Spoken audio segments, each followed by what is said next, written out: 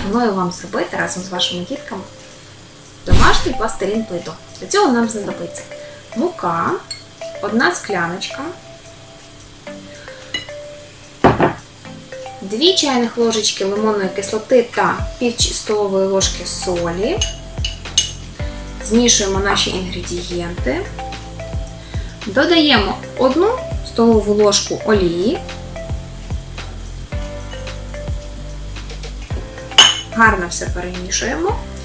І додаємо воду. У мене вода з фарбником. Я хочу зробити червоного кольору свій пластилін.